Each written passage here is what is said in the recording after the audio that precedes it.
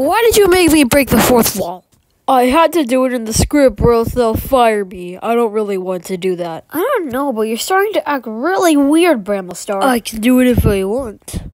You're so annoying, Bramblestar. Why is there a taped spiky line on your face? Forget about it, it doesn't even matter. No, let's get back to camp, shall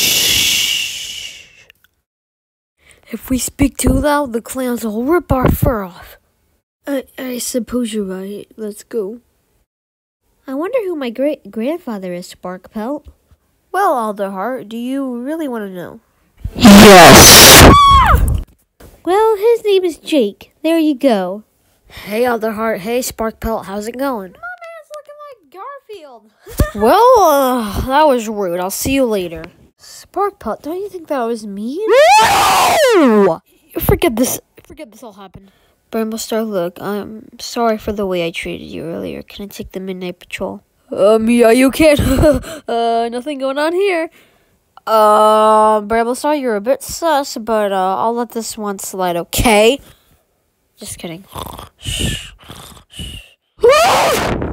Where am I? It's a dream, Thornclaw. You're just gonna do the tea thing, right? No, I just want to take a walk. Oh, okay. Thornclaw, I actually brought you in this dream to talk with you. It's about Bramblestar. You know, what about him? Look, I sense a great power in Bramblestar. A power that will destroy the whole clan. I think he's turning evil. I know. Alderheart looked really concerned at him, and he started acting suspicious today. He doesn't have much left before it happens, so I'll meet you in a dream tomorrow and we'll figure this all out. Because the thing you hate most might be the only way to protect yourself from Bramblestar. I understand, Firestar. Oh, speaking of that hated thing.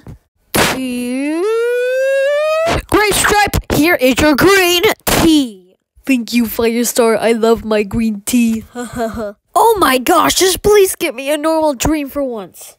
And here is your peach tea, Thornclaw.